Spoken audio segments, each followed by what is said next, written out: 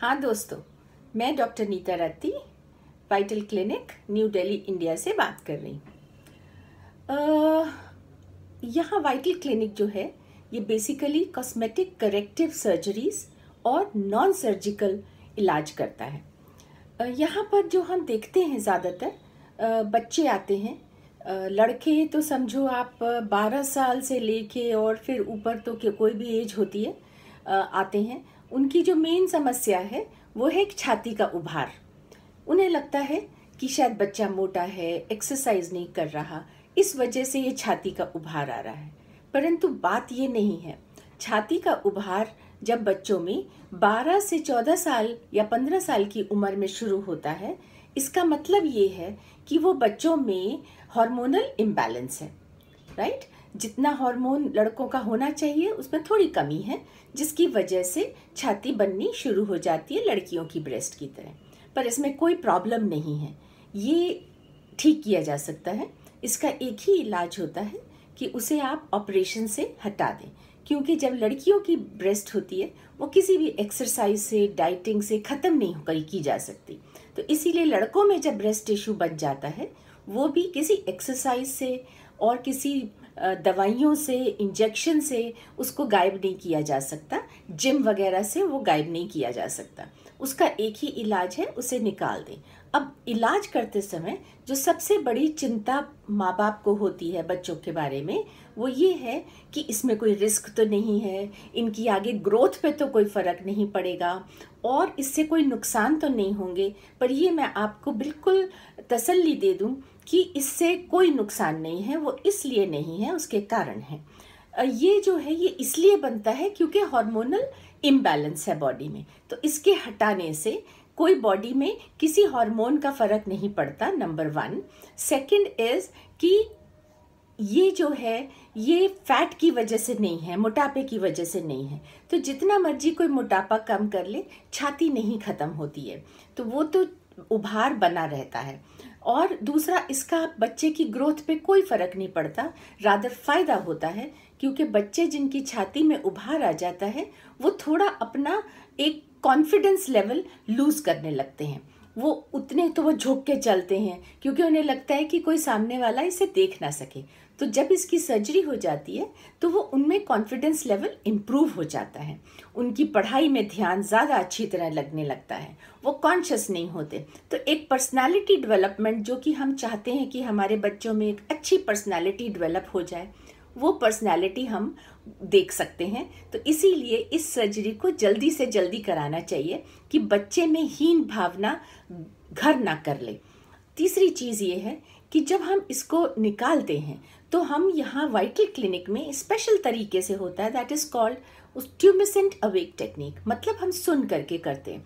तो बच्चे में बेहोशी का भी रिस्क नहीं है, क्योंकि अक्सर माँ बाप को रहता है कि अरे बेहोश करेंगे, पता नहीं क्या होगा, होश आएगा कि नहीं आएगा, या और कोई रिस्क तो बच्चा तो हेल्दी है, कोई बीमार तो है नहीं, कोई इमरजेंसी तो है नहीं तो उसको एक हेल्दी तरीके से ही सर्जरी हो तो बेटर रहता है।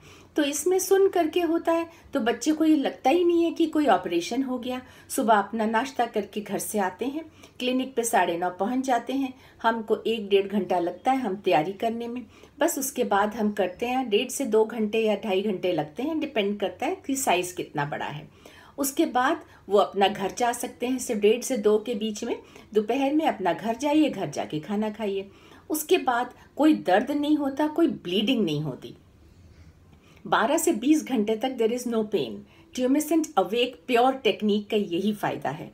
तो एक आपको ये बिल्कुल एहसास ही नहीं होता कि मेरी सर्जरी भी हो गई और मैं अपना नॉर्मल की तरह घर में जाते हैं तो कोई आसपास वाला अगर कोई देख ले कार से उतरते समय कि बट ये बीमार है, इसका ऑपरेशन ऐसी कोई फीलिंग नहीं होती। तो किसी को पता नहीं चलता कि सर्जरी हो गई, मेरा इलाज भी हो गया। बस उसके बाद आपको एक दिन का गैप दे के आके यहाँ पे ड्रेसिंग रिमूव करानी है, जो कि एक छोटी सी ड्रेसिंग होती है। उसके बाद आप कुछ करने की ज़रूरत नहीं है। हीलिंग बॉडी का एक अपना तरीका है, वो अपना हील कर लेता है। और 40 दिन लगते हैं बॉडी को अपनी नॉर्मल सिचुएशन डिलीवरी किसी लेडी की होती है तो भी तो हम कहते हैं 40 दिन 40 दिन। तो 40 दिन शरीर लेता है किसी भी ऑपरेशन चोट को ठीक करने में, लेकिन उसमें आपको कोई रेस्ट की ज़रूरत नहीं है। आप अपना नॉर्मल काम करते रहिए। रेस्ट तो आपने फ़र्स्ट डे भी नहीं किया, अपना आराम से चल के घर ही जा रहे हैं सो कोई प्रॉब्लम नहीं है। तो रिस्क इसका नहीं है। दूसरा ब्लीडिंग का कोई रिस्क नहीं है, क्योंकि जब ट्यूमिसिट अवेक टेक्निक से हम करते हैं तो वो एरिया ब्लडलेस होता है, कोई ब्लीडिंग नहीं होती। तो क्योंकि ब्लीडिंग नहीं होती, इसलिए जो सर्जरी हम करते हैं, हम पूरी तरह से, पूरी तसल्ली से कर सकते हैं तो उसको दोबारा कराने की ज़रूरत नहीं है कभी भी। क्योंकि हमारे पास बहुत ऐसे बच्चे आते हैं, जो कहीं भी किसी बड़े अस्पताल में करवा के आए हैं, लेकिन क्योंकि बेहोशी में किया जाता है, और कुछ भी कारण हो गया तो पूरा नहीं निकल पाया ग्लैंड या फैट तो वो दोबारा से उनको दिखने लगता है। तो ऐसी सिचुएशन इस ट्यूमिसेंट अवेक टेक्निक में नहीं होती। इसमें यह है कि आप तसल्ली से पूरा कर सकते हैं और बहुत अच्छे रिज़ल्ट जो कट है, उसकी स्टिचिंग भी स्किन में कोई, खाल में कोई टांका नहीं होता। इसलिए जो निशान है वो बहुत ही मिनिमल पड़ता है। कोई ऐसा दिखाई नहीं देता साम, सामने से। जब आप यहाँ पे आएँगे एक बार कंसल्ट करने के लिए तो हम आपको सारी पिक्चर्स दिखा सकते हैं कि किस तरह का निशान है, कहाँ कट लगता है, कैसे बच्चा चल रहा है? वैसे वाइटल क्लिनिक के बहुत सारे वीडियोस जो हैं डॉक्टर जे बी रत्ती करते हैं इस सर्जरी को।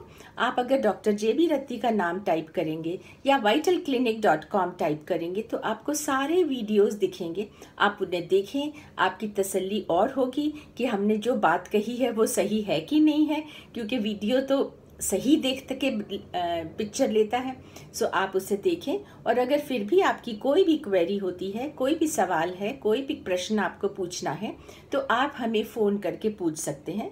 हम लोग का जो फ़ोन नंबर है, वो है ज़ीरो डबल वन तो कोड है दिल्ली का two six two five two three three three और एड्रेस है L three South Extension two New Delhi तो आप कभी भी अपना आके यहाँ पे हमें कंसल्ट कर सकते हैं या फ़ोन द्वारा हमें हमसे कुछ भी पूछ सकते हैं। Thank you so much